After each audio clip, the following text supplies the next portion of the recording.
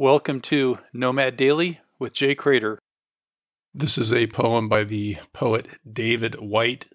The title is The Song of the Lark. Whoever listens in this silence, as she listens, will also stand opened, thoughtless, frightened by the joy she feels, the pathway in the field branching to a hundred more no one has explored.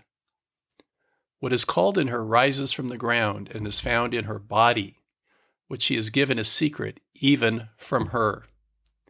The silence is the seed in her of everything she is, and falling through her body to the ground from which she comes, it finds a hidden place to grow and rises and flowers in old wild places where the dark edged sickle cannot go. Initially, I was going to just read one line, frightened by the joy she feels, because I just was transfixed by that concept that something feels so good that it's scary, frightened by the joy she feels when she hears the song of the lark in the morning. Again, that is the poet, The Song of the Lark, by the poet David Whyte. For more information and bonus content, visit nomadjay.com.